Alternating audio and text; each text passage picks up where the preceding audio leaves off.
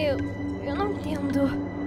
Você acha que meu filho está escondendo essa garota? O que aconteceu com o cabelo dela? Só precisamos saber se a viu na última semana. Não, não. Não, com certeza não.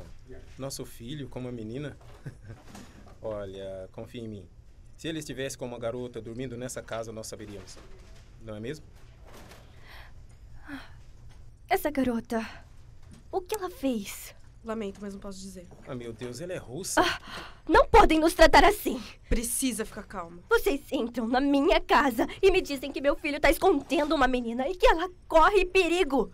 E não podem me dizer por quê? E ainda esperam que eu continue calma.